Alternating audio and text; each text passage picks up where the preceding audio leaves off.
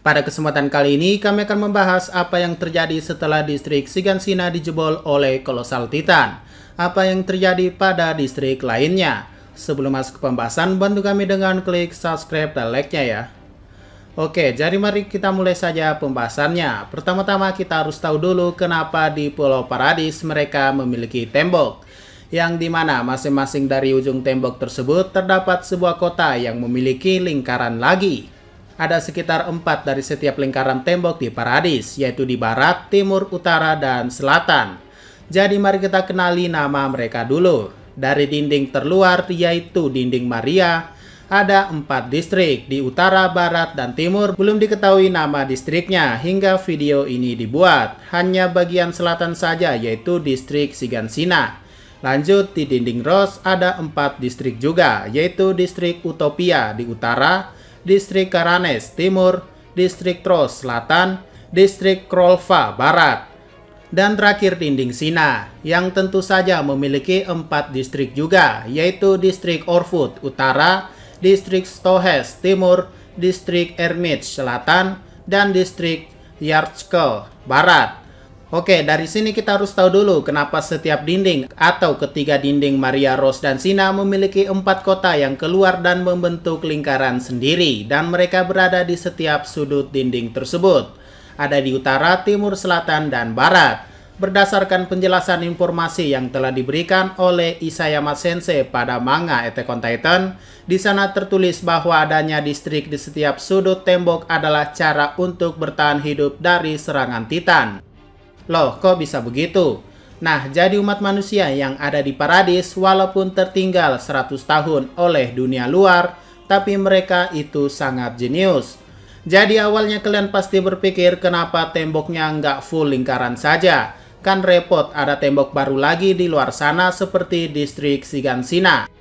Nah, berdasarkan penjelasannya, adanya distrik atau kota yang keluar dari lingkaran adalah agar Titan tersebut terfokus tujuannya pada distrik atau kota tersebut.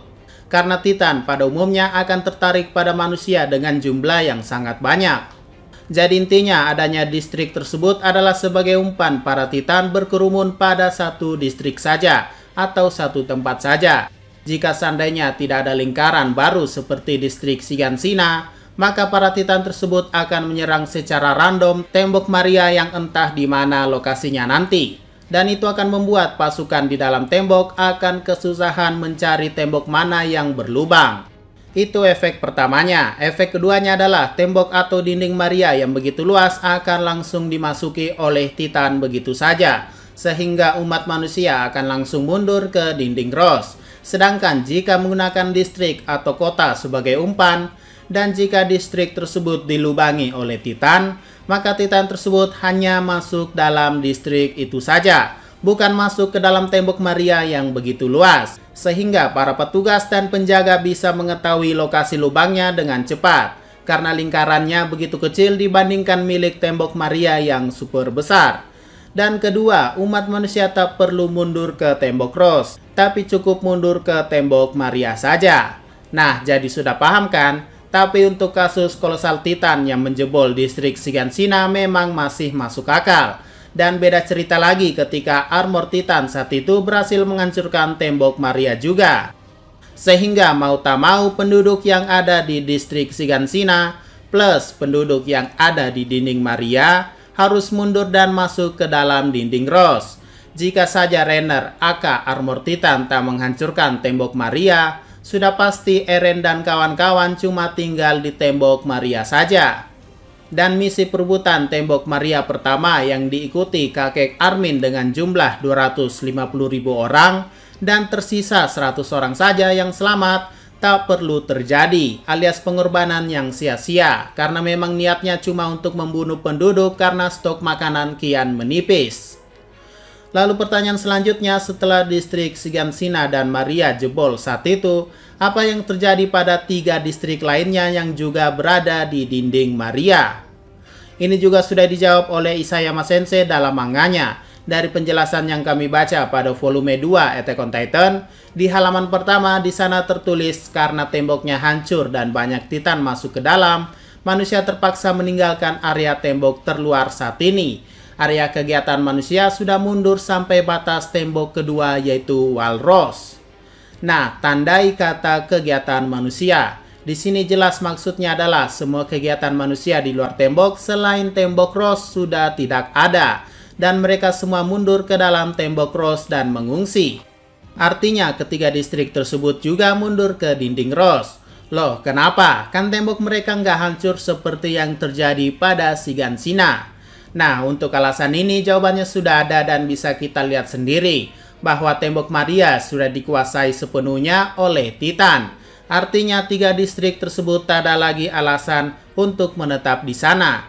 Loh, kenapa? Ya, karena tidak ada suplai atau jalur perdagangan yang terjadi. Jadi semua makanan, informasi, air, dan hal sebagainya pasti disuplai dari tembok terdalam, lalu disuplai keluar. Atau setidaknya ada jalur perdagangan antar tiap kota. Tapi yang kita hadapi di sini adalah jalur tersebut tidak ada, karena tembok Maria telah dikuasai. Jadi misalnya distrik yang ada di utara sudah kehabisan air, bagaimana mereka mau mengambil atau mencarinya? Tentu saja pergi ke tembok Ros kan? Tapi karena Titan sudah menguasai tembok Maria, maka hal tersebut tak bisa dilakukan. Jadi daripada menunggu ketidakpastian, mereka juga mengungsi untuk cari aman. Atau begini, anggap sajalah distrik A, B, dan C bisa hidup tanpa mengungsi ke tembok Ross. Tapi satu bulan atau tiga bulan mereka akan kehabisan stok makanan dan akhirnya mati. Nah, untuk mencegah hal itu, lebih baik pindah secepat mungkin ke dalam tembok daripada menunggu kematian karena kegiatan mereka juga tidak ada. Uang dan perdagangan itu harus selalu terhubung di dalam dunia tembok tersebut, jadi tak boleh terputus. Jadi sudah jelas ya nasib ketiga distrik tersebut. Ya benar sekali, mereka juga mengungsi ke tembok Ros sama yang dialami oleh penduduk Sigansina yang pada akhirnya populasi yang ada di Tembok Maria beserta empat distrik tersebut harus dikurangi dalam misi perebutan dinding Maria pertama saat itu. Dan ini semua demi bertahan hidup dalam dunia yang kejam ini. Kondisi normalnya dan kembali pulih adalah ketika pada tahun 851, yaitu semua titan di luar dinding Ros, yaitu Maria, dan di luar tembok Maria sudah dibasmi habis. Saat itu penduduk yang sebelumnya tinggal di Sigansina bisa kembali ke kampung halaman mereka kembali dan hidup di sana. Dan kami yakin itu juga yang terjadi pada tiga distrik lainnya. Dan ya, itu memang semua sesuai analisa kami. Sepanjang yang kami baca, memang benar Isayama Sensei tak pernah menyinggung secara jelas ketiga distrik tersebut. Bahkan diberi nama pun belum pernah. Oke, mungkin itu saja pembahasan kali ini dan semoga video ini dapat membantu menjawab pertanyaan kalian. Jika ada masukan dan tambahan silakan komentar saja di bawah ya. Sekian dari pembahasan kali ini, jangan lupa like, share, dan komentarnya ya.